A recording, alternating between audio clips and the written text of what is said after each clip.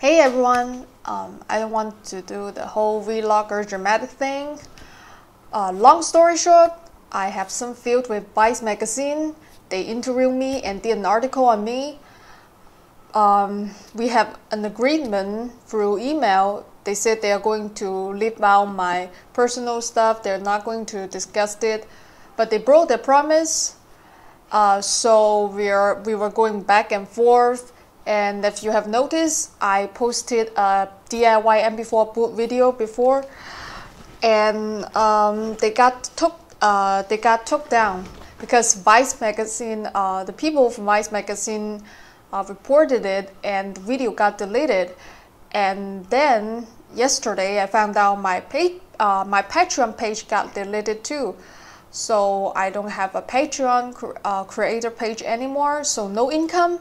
That means no more video because that was that used to be my full-time job. I made videos i built stuff and you guys support me.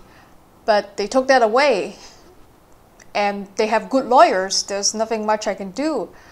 So there won't be videos for a while. I have to go back to coding. I was trying to contact my old clients. And it seems don't worry don't worry. Uh, I, I think i'll be fine for a while and uh, thank you for a lot of you guys uh, who give me advice saying that I can uh, post on other platform to help me. But uh, despite from Patreon, I know there are other services, but it's kind of difficult to process outside from China.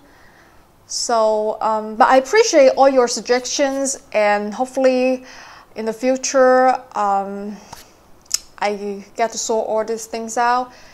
And this is not the end. I'm not going to stop making video, but it's gonna be a while. And hopefully when I post my video again, you guys will still be around. Thank you very much for all your support. I hope I can shoot videos for you guys again someday.